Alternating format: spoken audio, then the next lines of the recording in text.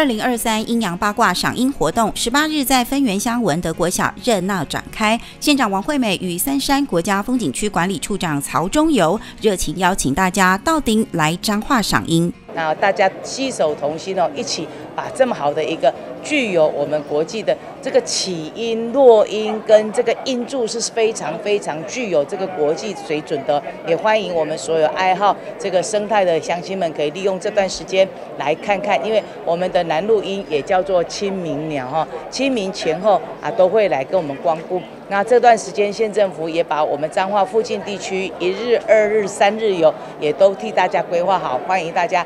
来彰化赏樱，来彰化来这个啊吃美食，来欣赏彰化的好，彰化的美。我们今年开始疫情之后，我们扩大来举办我们会变狂音的一个生态旅游活动哦。那我们会延续办到六月，那我们会引进我们港澳、新加坡等等的一些国外游客来我们。呃，生八卦山哈来赏樱，然后来进行我们的赏紫斑蝶哦，赏我们的萤火虫、桐花等等生态旅游活动。那八卦山脉是很独特的一个生态旅游的一个宝地啦。那我们光局就把这个定位成国际的一个生态旅游。那我们跟县政府一起来努力，那引进过更多的国内外游客到八卦山来旅游。呃，三十年前我们有一些。伙伴们、一些前辈们，为了保护灰面狂鹰而成立我们彰化县野鸟学会。感谢那时候的县政府、林务局，慢慢的加入了，来一起来来保育。后来的三山处也过来跟我们一起共襄盛举。